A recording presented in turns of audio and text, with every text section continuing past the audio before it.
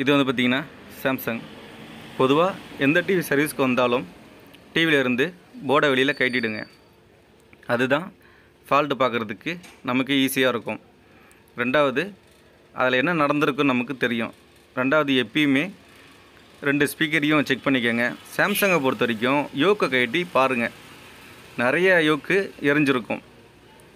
B plus volt high ஆச்சுன்னா டக்குன்னு யோக்கு எரிஞ்சிரும். சாம்சங்கை பொறுத்த வரைக்கும் அதனால் அதை ஃபஸ்ட்டு செக் பண்ணிக்கோங்க. இல்லைன்னா கஸ்டமர்கிட்ட நம்ம மாட்டிப்போம். அடுத்தது பார்த்திங்கன்னா நெக் போர்டில் இந்த ஐசியை செக் பண்ணுங்கள் எரிஞ்ச மாதிரி இருக்கா? இல்லை எதாவது வெடிச்சிருக்கா? அப்படின்னு ஃபஸ்ட்டு பார்த்துங்க. அடுத்து ரெண்டு கெப்பாசிட்டியும் செக் பண்ணுங்கள் உப்பி இருக்கும். அடுத்து பார்த்திங்கன்னா இந்த பேஸை செக் பண்ணுங்கள் சென்டர் பாயிண்டில் பூத்து போன மாதிரி இருக்கா? அப்படின்னு பாருங்கள் அதுதான் நமக்கு மெயின் ஏன்னா ஃபோக்கஸ் கம்ப்ளைண்ட்டு வரும்.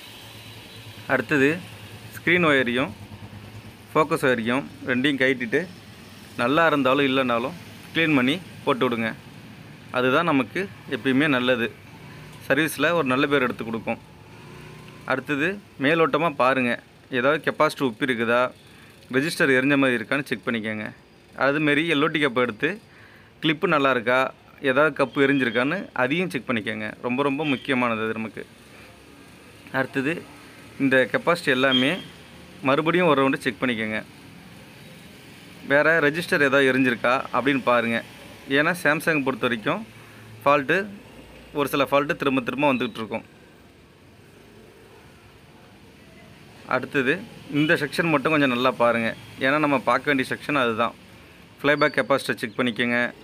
அது நல்லது. டிஸ்க்கு கெப்பாசிட்டி எதாவது எரிஞ்சிருக்கான்னு பார்க்கணும். ஒரு சிலது வெடிச்சிருக்கும். நம்ம சரியாக கவனிக்க மாட்டோம். அது பார்த்திங்கன்னா ஹச் அவுட் போகும். அப்படி இல்லைனா வேறு வீடியோவில் கம்ப்ளைண்ட் வரும். அதனால் அதை நம்ம பார்த்துக்கிறது நல்லது. பெரும்பாலும் ட்ரை சால்ரிங் இருக்கான்னு செக் பண்ணிக்கோங்க. அதுதான் நமக்கு நிறைய பிரச்சனையை உருவாக்கும். அதுமாரி எல்லோட்டியில் சின்ன பஞ்சர் இருந்தால் கூட அதை பார்க்காதீங்க. டக்குன்னு எல்லோட்டியை மாற்றி விட்ருங்க அது நமக்கு எப்பயுமே நல்லது. கஸ்டமர்கிட்டையும் ஒரு நல்ல பேரை எடுத்து கொடுக்கும். இல்லைன்னா இப்போ தாங்க ரெடி பண்ணி எடுத்துகிட்டு போனேன். அதுக்குள்ளே ஃபால்ட் ஆகிடுச்சிங்க அப்படின்னு சொல்லி நம்மளை நிர்பந்தப்படுத்துவாங்க. அப்படியே செஞ்சு கொடுத்தாலும் சர்வீஸுக்கு சர்வீஸ் சார்ஜ் கொடுக்கறதுக்கு யோசிப்பாங்க. அது மாதிரி சாம்சங் டியூபு நிறைய கம்ப்ளைண்ட் வரும்.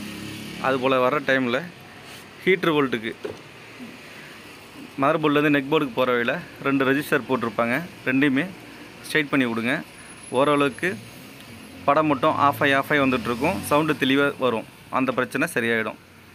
பவர் சப்ளையை பொறுத்த வரைக்கும் ஃபியூஸ் நல்லா இருக்கான்னு ஃபஸ்ட்டு பார்த்துக்கோங்க ஃபியூஸ் நல்லா இருந்தாலே ஓரளவுக்கு எஸ்டிஆர் கம்ப்ளைண்ட்டு இருக்காது.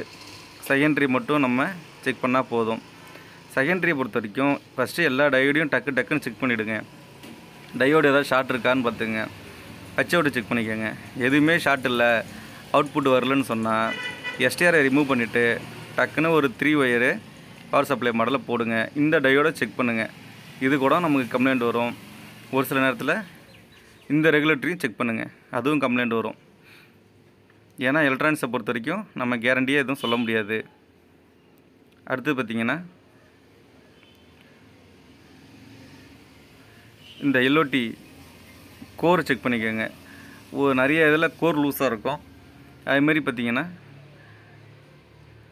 எல்ஓடி நம்பர் அழிஞ்சிருக்கும். மேக்ஸிமம் நோட் பண்ணி வச்சுக்கோங்க. எல்ஓடி எப்பயுமே செக் பண்ணுறதுக்கு முன்னாடி அந்த ஒன் டென் கட் பண்ணுங்கள் கட் பண்ணிவிட்டு போர்டுக்கு சப்ளை கொடுத்து அவுட்புட் வருதான்னு பாருங்கள் அப்படி கரெக்டாக வந்துருச்சு அப்படின்னா பவர் சப்ளை செக்ஷன் ஓகே அதுக்கப்புறம் நம்ம செக் பண்ணுறது எல்லாட்டியும் ஹச்ஓட்டும் தான் நம்ம செக் பண்ணி ஆகணும். எஸ்டிஆர் கம்ப்ளைண்ட் வரும் இந்த கிட்டில் மேக்ஸிமம் நம்மளால் ஃபால்ட்டு கொஞ்சம் டஃப்பாக இருக்குது அப்படின்னா டக்குன்னு எஸ்டிஆரை ரிமூவ் பண்ணிவிட்டு ஒரு பவர் சப்ளை மாடலை போட்டு செக் பண்ணிட்டுங்க அது நமக்கு எப்பயுமே நல்லது. இந்த இடத்துல ஒரு சிக்ஸ்டி வாட்டோ ஃபார்ட்டி வாட்டோ பல்பு கனெக்ஷன் கொடுத்து ஆன் பண்ணி லோடு கரெக்டாக இருக்கான்னு செக் பண்ணிக்கோங்க. லோடு கரெக்டாக இருக்கும்போது ஒன் டுவெண்ட்டி ஃபைவ் வோல்ட் வரணும். அடுத்து பார்த்திங்கன்னா இந்த டிஸ்க் கெப்பாசிட்டி கம்ப்ளைண்ட் வரும். அடுத்து இந்த டிஸ்க் கெப்பாசிட்டி கம்ப்ளைண்ட் வரும். அடுத்து பார்த்திங்கன்னா அதோடைய ட்ரேசர் லைனில் இந்த கெப்பாசிட்டி கம்ப்ளைண்ட் வரும். அதோடைய சர்க்கியூட் லைன்லேயே பதினஞ்சு கே ரெஜிஸ்டர் ஒன்று போட்டிருப்பாங்க. அது நமக்கு கம்ப்ளைண்ட் வரும். எல்ஓடியை செக் பண்ணுற வீடியோ ஏற்கனவே போட்டிருக்கு. அந்த மெத்தட்லேயே எல்ஓடியை செக் பண்ணிக்கோங்க.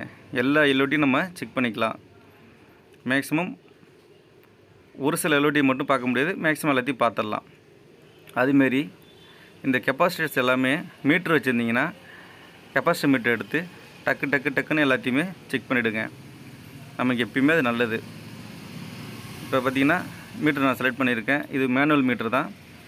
ஃபஸ்ட்டு பி ப்ளஸ் கெப்பாசிட்டரை செக் பண்ணிக்கலாம்.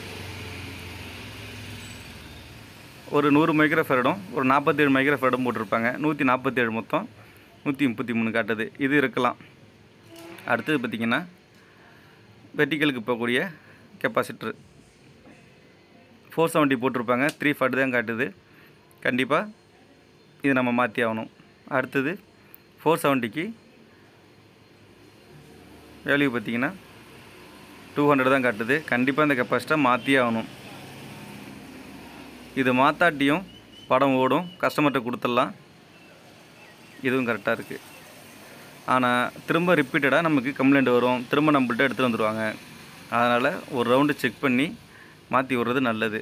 நெக் போலில் இருக்கிற கெப்பாசிட்டியும் அதேமாரி செக் பண்ணிக்கோங்க. ஒரு ஃபோர் பாயிண்ட் செவன் போட்டிருப்பாங்க. ஒரு டென் எம்எஃப்டி போட்டிருப்பாங்க. ஃபோர் பாயிண்ட் செவன் மைக்ரோஃபேட் பார்த்தீங்கன்னா கரெக்டாக இருக்கான்னு செக் பண்ணிக்கோங்க. ப்ளஸ் ஆர் மைனஸ் எப்பயுமே ஒரு டென் பர்சன்டேஜ் இருக்கலாம். அதுக்கு மேலே போனால் தான் கெப்பாசிட்டரு கரெக்டாக வேலை செய்யாது. இந்த டென் எம்எஃப்டியும் ஃபோர் பாயிண்ட் செவனும் பார்த்தீங்கன்னா மேக்ஸிமம் பார்க்குறதுக்கு நல்லாயிருக்கும் உள்ளுக்குள்ளேயே பார்த்தீங்கன்னா துரு பிடிச்சி லெக்கு கட்டாக இருக்கும். அதனால தான் நான் செக் பண்ணி பார்க்க சொல்கிறேன் செக் பண்ணிட்டாலே ஓரளவுக்கு நமக்கு ஓரளவு திருப்தி ஆகிடும் ஒரு கெஸ்ஸிங் பண்ணலாம். ஓகே இது இதெல்லாம் நல்லாயிருக்கு இவ்வளோ சார்ஜ் பண்ணலாம். இது இது நல்லாயிருக்கு இது சரியில்லை அப்படின்னு ஒரு முடிவு பண்ணிக்கலாம். இந்த பிஎஃப் பார்த்தீங்கன்னா நல்லா இருந்தாலும் இல்லைனாலும் எப்பயுமே மாற்றி விட்ருங்க இந்த பதினஞ்சு ரெஜிஸ்டரை கண்டிப்பாக பாருங்கள் இந்த டையோடு இருக்கு இல்லைங்களா அது வந்து ஃபைவ் பாயிண்ட் சிக்ஸ் வோல்ட்டு இதில் பழைய ரெஜிஸ்டர் பார்த்திங்கன்னா எரிஞ்சிருக்கு. இந்த டையோடும் வெடிச்சிருக்கு. அடுத்தது இந்த பிஎஃப் பார்த்திங்கன்னா அதுவும் எரிஞ்சிருச்சு.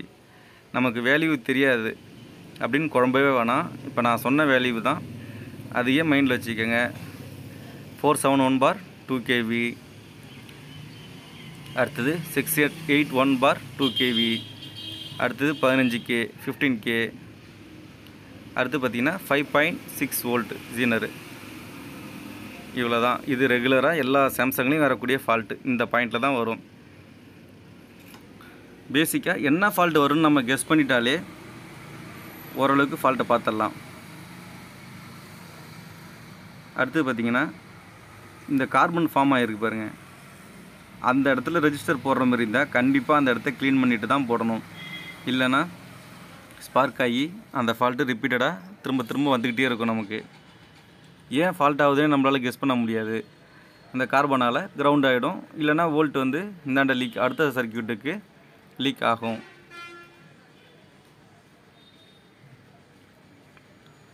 மேக்ஸிமம் இது பக்கத்தில் இன்னொரு கெப்பாசிட்டி வரும். அந்த கெப்பாசிட்டியும் பார்த்துக்கோங்க. அந்த கெப்பாசிட்டரும் அடிக்கடி நமக்கு போகும்.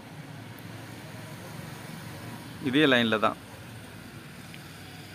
இந்த ப்ரௌன் கலர் கெப்பாசிட்டி பார்த்திங்கன்னா மேக்ஸிமம் வேல்யூ சொல்கிறதுக்கு காட்டுறதுக்கு பார்க்குறேன். நான் இந்த மெத்தடில் தான் போட்டு விடுவேன். ரெஜிஸ்டர் போட்டேன்னா ரெஜிஸ்டரில் ஒரு ஸ்லீவ் ஒன்று போட்டு அதுக்கப்புறம் கொடுத்துட்றது இந்த கெப்பாசிட்டி வேல்யூ பார்த்தீங்கன்னா ஃபோர் செவன் டபுள் ஜீரோ அது ஞாபகம் வச்சுக்கோங்க. அதுமாரி இந்த hundred bar fifty volt capacity போட்டிருப்பாங்க. அது வீக்காக இருக்கான்னு பாருங்கள் இல்லைனாலும் மாற்றி விட்ருங்க டாப்பில் அந்த கலர் கோடு வரும் பாருங்க. ஒரு மூணுலேருந்து அஞ்சு கோடு அது மாதிரி வரும். அந்த கோடு வந்துச்சுன்னா கண்டிப்பாக அந்த கெப்பாசிட்டர் மாற்றி விடுங்க. மாற்றி விட்டிங்கன்னா அந்த கோடு சரியாயிடும்.